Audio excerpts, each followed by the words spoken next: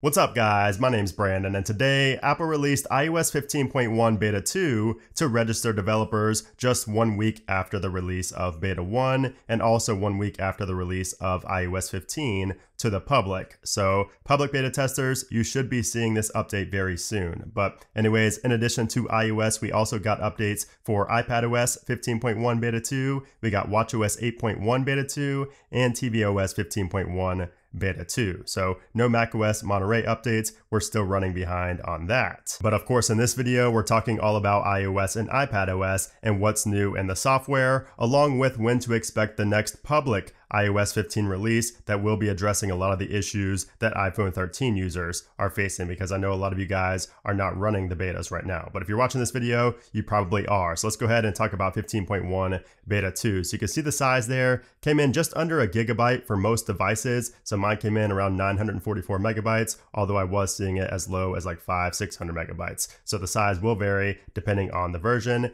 and the device you're coming from. I'm running this right now on my iPhone 13. So if we go to our settings and check out the build number, let's go to general about 15.1. We can see the build number here is 19B5052F. So we do have an F at the end of the build number, which does indicate we still have a few more betas to go, as I predicted in my first beta video. So if we go down to the modem firmware, you can see we also have an update there. It's now 1.14 0.01. So if you were having issues on the first beta, you could see those resolved here with beta 2. All right, so now what's new here in iOS 15.1 beta 2? And the first thing is the unlock with Apple Watch feature now works properly on the iPhone 13 and 13 Pros. So this was a big issue beforehand on iOS 15 and 15.1 beta 1 for some users, but it is fully fixed now. And now your phone and watch can communicate properly. So if we go into my main device here, my iPhone 13 Pro and go into my Face ID settings, you can see I have the feature enabled. And before on iOS 15 and 15.1 beta 1 for some users, you were not able to enable this toggle. So it would give you a communication error and you would not be able to enable it, but now you can. And also I'll show you that it does work properly. So I'm gonna go ahead and cover my mouth real quick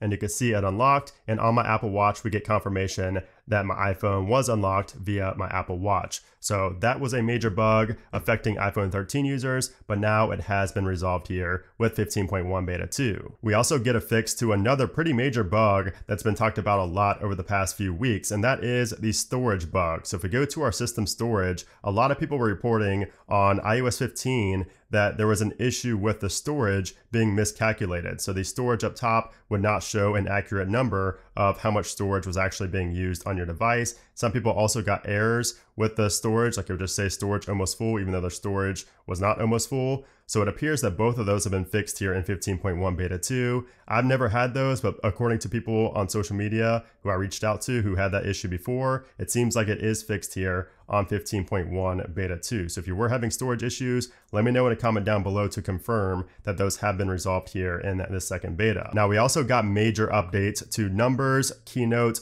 and Pages. So all three of Apple's applications have been updated to support iOS 15 and they come with some big new features. So like for Pages, you can see the release notes right here, but the big one for Pages is that it has a new screen view that makes editing easier. And then if we go back to Keynote, Keynote, one of the big features here is that you have live video now. So it says live video makes presentations even more engaging by letting you use the camera in your iPhone or iPad to show yourself right on your slides in a window or full screen. So of course there are a lot of other changes there as well, but that is the headlining one. And then for numbers, the headlining feature is pivot tables. As you can see right there, we have formatted pivot tables and just a few taps. So that's something that everybody's been wanting for a very long time in numbers, and we finally have it now with this new update, version 11.2. So some pretty big updates there for numbers, keynote, and pages. Of course, those do not require 15.1 beta 2, but I did just want to mention it in this video since they did just recently get updated. Now we also have a minor change inside of our settings for our AirPods. So this is something that I missed in the first beta, but if we go to accessibility here and then down to AirPods and then down here to spatial audio head tracking, you will see that we now have a toggle, a kill switch for follow iPhone. So I'll show you guys what it looked like. I tried to grab the wrong phone, but here's what it looked like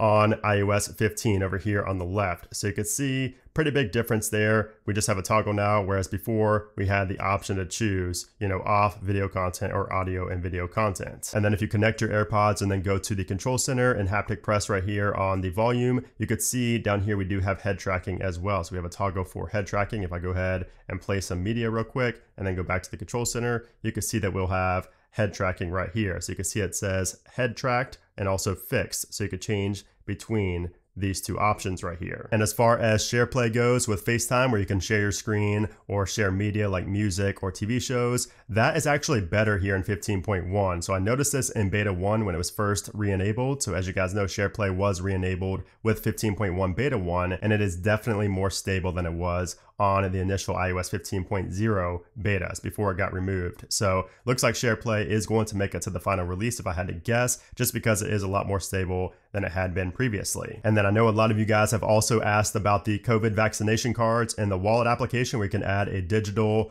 COVID vaccine card. We have not seen that roll out to the masses just yet. That will be, you know, based on your state as well. So we're still waiting to hear a lot of details about that, but it is coming very soon. Now, as far as the digital driver's license, that is going to take longer to roll out just because, you know, obviously that's a lot more of a liability thing. So I think that the digital driver's license probably will not be here, honestly, until next year, if I had to guess. Now, it is rolling out to some states, but I'm talking about to all 50 states. I don't think we're going to see that digital driver's license until probably 2022, if I had to guess. Now, as far as bugs and bug fixes go, we do have a fix, like I said, for the unlock with Apple Watch and also the storage bug, but it also appears that we might have a fix for the overlapping notifications. So as you guys know, in iOS 15 and 15.1 beta 1, there were a lot of issues with notifications just simply overlapping. So like when you tap to show more notifications from that application. And then when you went to show less, it would overlap. And there'd just be a lot of issues here in the notification center. But after testing this out multiple times here on beta 2, I've not been able to recreate any type of issue with notifications. So we might finally see a fix for that. You guys will have to let me know down in the comments below. And of course, I will be making a follow up to you know report back and see for sure if that has been fixed or not. And then also I forgot to mention this bug as well. So if you have the automation set up for shortcuts where it changes your wallpaper automatically every day, I made multiple videos on that. That is still bugged out here in iOS 15. It's going to give you that error. It will still work, but it's going to give you that error saying that it didn't work or that it failed. So still waiting on a fix for that as well, but it has not been fixed here in 15.1 beta 2. And then if we go into the release notes for this update, you can see there's really not too much here, just a few known issues for like the home application and for voiceover. We do have a resolved issue here for iPadOS 15.1 beta 2 and you can see it says resolved an issue where multiple taps are required to close the sidebar. So apparently it was hard to close the sidebar before. I didn't have that, but that has been fixed. And then also there's a small Swift UI bug that has been fixed as well. So really the main reason for this update to come out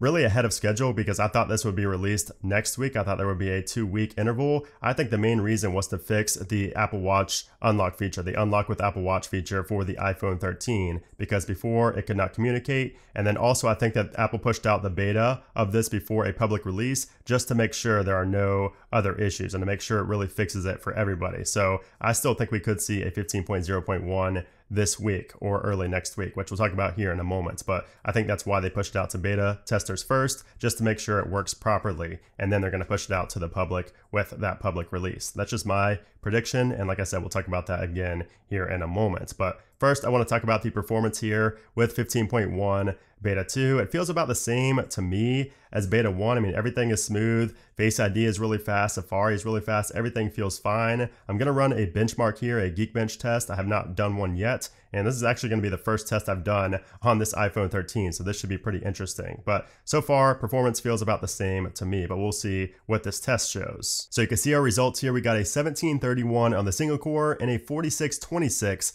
on the multi-core. So some pretty strong scores there. If we look back at the history here, this is just imported from another device, but it still should be interesting to see. You could see the multi-core, of course, is much higher because this is an iPhone 13. It was compared to an iPhone 12, but much higher scores here on this 13, and we'll be able to use this benchmark now to test other versions as well. But pretty strong numbers via Geekbench. And as far as battery life goes, battery life I would not expect to change really any here in 15.1 beta 2. I mean, we could see a change and you know some fixes to battery drain and the official release of iOS 15 or maybe 15.2. But right now, I think Apple is a lot more worried about other things like the unlock with Apple Watch, the storage issue. There's just a lot more important issues right now than battery life because for most people, it's perfectly fine. So now what is next for Apple? So today is Tuesday the 28th and I would expect iOS 15.0.1 to actually come next. I think this could actually come before 15.1 beta 3. So we could see a 15.0.1, a public release. And the reason I think we could see this very soon is because there are a lot of issues affecting the iPhone 13 users. So if you just got an iPhone 13, there are issues, you know, the unlock with Apple Watch, you know, we have also multiple other issues affecting those users. So I think we could see a public release of iOS 15.0.1 honestly as early as tomorrow, the 29th. So we could also see it sometime next week. But if Apple is on a one week cycle for 15.1, that means we should see beta 3 on the week of the 4th. Although I would not be surprised to see Apple skip a week if we do get that public release on the 4th, and then maybe a 15.1 beta 3 the week of the 11th. Although that's probably unlikely. We probably will stay on a one week cycle for the betas, but I would say to expect a 15.0.1 sometime pretty soon just to address those issues. That way, Apple is not waiting until the end of October to address those issues for iPhone 13 users who just got their device and they're already having issues with it. Those are just my predictions. And if you guys want to stay up to date with all of my thoughts about these iOS releases, you can go ahead and follow me over here on Twitter. And shout out to Susan who just tweeted me, which is crazy over on Twitter. But go ahead and follow me on Twitter if you're not already. But anyways, if you guys enjoyed this video, I would appreciate if you give it a thumbs up. Also, make sure you subscribe for a lot more iOS 15 coverage coming very, very soon. But anyways, guys, thanks again for watching, and I'll see you soon.